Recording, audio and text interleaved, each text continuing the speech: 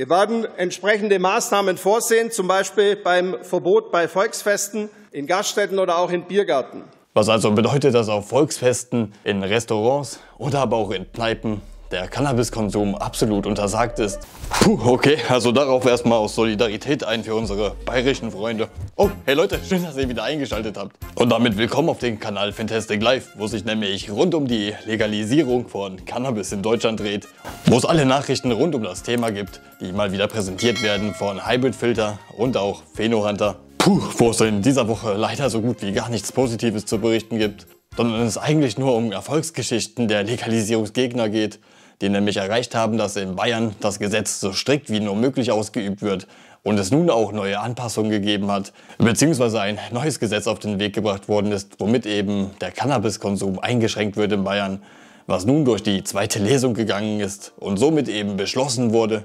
Wobei man sich nur an den Kopf fassen kann, vor allem bei den Aussagen der Union bzw. auch der Freien Wähler. Aber ihre Verschärfung des Gesetzes natürlich nur schwer begründen können, weswegen ich euch das ganze Thema natürlich einmal zusammengefasst habe.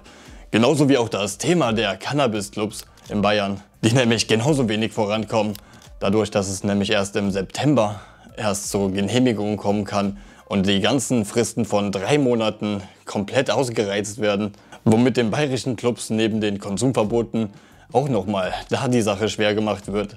Weswegen wir uns das Thema natürlich auch nochmal gemeinsam ansehen werden. Aber uns dann auch noch zum Schluss ein positives Thema ansehen. Und zwar nämlich noch einen Videobeitrag des Ganderkesees, der nämlich der erste Social Club mit Zulassung ist, wofür nämlich die niedersächsische Landwirtschaftsministerin gesorgt hat, die nämlich Ganderkesee somit zum allerersten Social Club in Deutschland gemacht hat und es nun wie gesagt auch noch einen Videobeitrag gibt, den wir uns natürlich zusammengefasst neben den ganzen anderen Themen als positiven Abschluss dann nochmal zum Schluss ansehen werden. Doch erst einmal gibt es nun einen entspannten mit Hybrid, die nämlich mit ihrer Filtertechnologie dafür sorgen, dass ihr die 2 in Einfilterung habt, die im Übrigen auch in verschiedensten Variationen kommen, wie zum Beispiel den Kombi-Pack, wo man nämlich selber entscheiden kann, ja, wie groß man nun bauen möchte. Also falls ihr Interesse habt und noch ein paar Filter benötigt, dann checkt auch gerne mal den Link in der Beschreibung ab, wo ihr nämlich nochmal mit dem Code Fantastic20 satte 20% Rabatt bekommt, wo ihr dann im Übrigen auch noch die Möglichkeit habt, einer dieser goldenen Grinder-Karten zu gewinnen, was bedeutet, dass ihr ein Leben lang Goodies von Hybrid bekommt. Vielen Dank auf jeden Fall für eure Aufmerksamkeit, ohne die sowas hier gar nicht möglich wäre. Und nun weiter mit dem Thema. Doch nun ist mal genug mit dem Gerede. Vielen Dank, wie gesagt, für eure Aufmerksamkeit und wir starten direkt mit dem ersten Thema.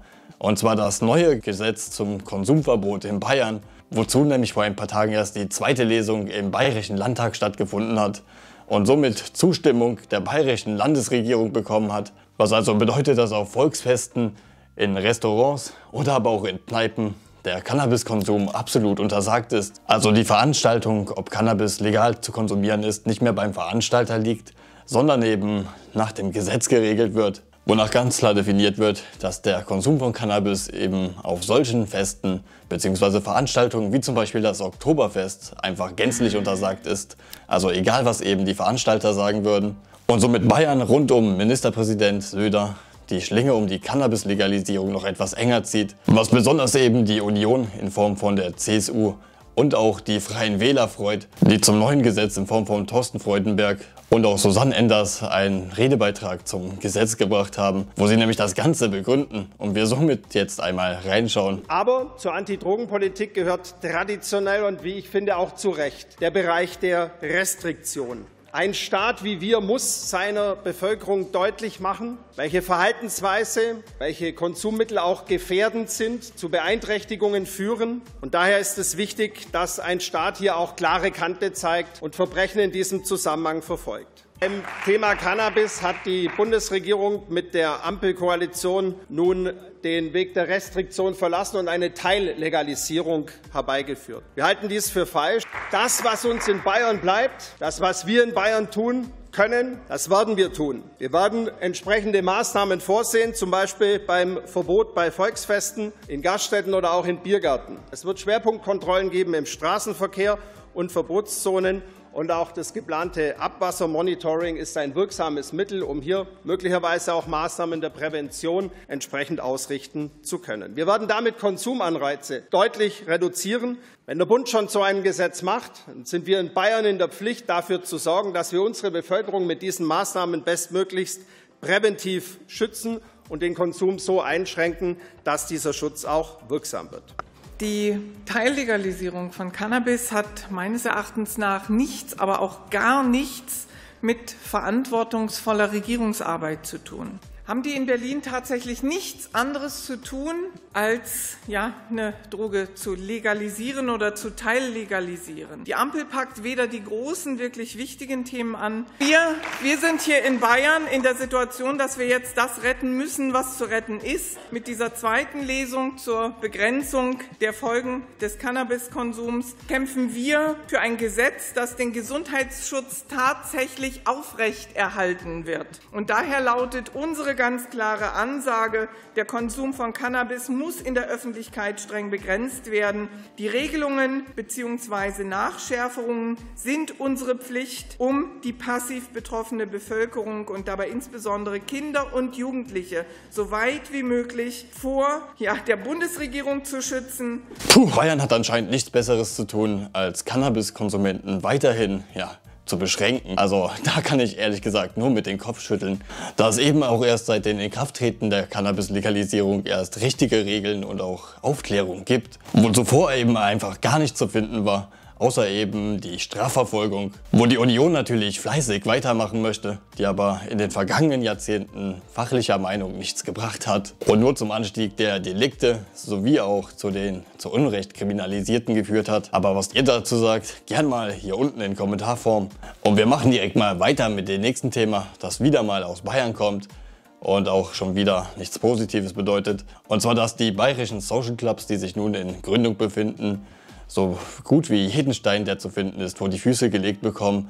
Da Bayern, wie kann es anders sein, natürlich die Gesetzeslage so restriktiv wie möglich auslegt und somit die Cannabisclubs nicht nur bei der Zulassung warten lässt und eine Frist von drei Monaten komplett ausreizt, sondern nun die Genehmigung auch noch schwieriger machen bzw. das Ganze verzögern. Denn wer in Bayern eine Social Club Anbaugenehmigung möchte, der muss zuerst natürlich eine Schulung durchlaufen, die nämlich natürlich jemand im Club zur Beratung und zur Prävention vorzeigen muss, die aber leider natürlich erst in Bayern ab September starten. Was somit bedeutet, dass die Social Clubs in Bayern gar keine Möglichkeit haben, sich vor September überhaupt für eine Genehmigung anzumelden. Und bedeutet, dass es aktuell zwölf Anträge, aber keinerlei Zulassung gibt.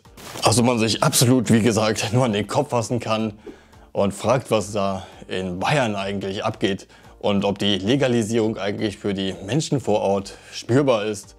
Aber was ihr dazu sagt, beziehungsweise was bayerische Konsumenten dazu sagen, das könnt ihr ja gern mal hier unten in Kommentarform dalassen. Und ich drücke euch den Daumen, dass auf jeden Fall die Clubs in der Zukunft eine Zulassung erhalten. Doch wie und wo das Ganze anders und besser laufen kann, das zeigt uns dann mit dem letzten Thema für das Video die niedersächsische Landwirtschaftsministerin, die nämlich den ersten Cannabis-Club Ganderkesee in Deutschland zugelassen hat. Also somit gesehen es schon den ersten Social Tab in Deutschland gibt, bei dem man sich jetzt schon anmelden kann. Was nicht nur eine große Freude in der Community ausgelöst hat, sondern es nun auch endlich einen Videobeitrag gibt, wo nämlich der Vereinsgründer das Ganze nochmal erklärt und die freudige Botschaft übermittelt. Also direkt mal rein in die Aussagen. Gegründet, gemeinsam mit Familie und Freunden, hat den Verein Daniel Keune die Idee des 41-Jährigen und seines aus 15 Mitgliedern bestehenden Kernteams, sich für einen bewussten Umgang mit Cannabis einsetzen und aufklären. Das ist eigentlich der, der einer mit der Hauptgründe gewesen. Ein gutes Produkt, ein gutes Cannabis, äh, ich sag mal, herstellen zu können halt, ne, das so ein bisschen auch aus der Schmuddelecke rauszuholen, das hat uns schon motiviert. Der Social Club ist nach eigener Aussage der bundesweit erste Verein, der eine offizielle Anbaugenehmigung erhalten hat. Überbracht wurde sie letzte Woche von Landwirtschaftsministerin Miriam Staute persönlich. Für den Vorsitzenden ein außergewöhnlicher Moment.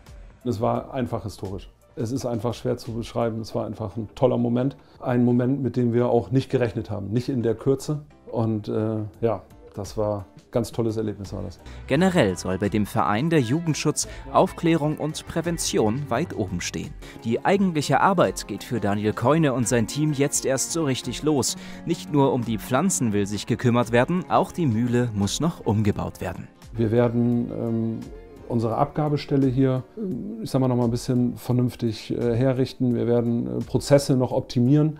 Wir sind im engen Austausch auch mit der Landwirtschaftskammer. Das ist ja Das ist jetzt ein Prozess, es fängt ja gerade erst an. Womit eben die niedersächsische Regierung zeigt, wie es einfach und schnell gehen kann und somit der Ganderkesee zum ersten legalen Cannabis-Club in Deutschland geworden ist, wo in der Zukunft dann auch noch hoffentlich einige Folgen werden, wo es bei der Zulassung nämlich verschiedene Ämter gibt, also es pro Bundesland verschiedene Zeitspannen gibt, die aktuell noch gar nicht so klar sind. Aber ich euch natürlich auf den Laufenden halte, wann und wie ihr euch wo anmelden könnt und natürlich auch über die anderen Themen berichten werde, wie nämlich den Grenzwert für den Führerschein und natürlich auch Abänderungen des Cannabisgesetzes, sowie dann auch Säule 2, wo es dann lizenzierte Fachgeschäfte geben soll, wozu es aktuell aber noch keine neuen Infos gibt, aber ich euch, sobald ich mehr weiß, auf den Laufenden halte. Also falls ihr Interesse an dem Thema habt, dann lasst mir doch auch gerne ein Abo da.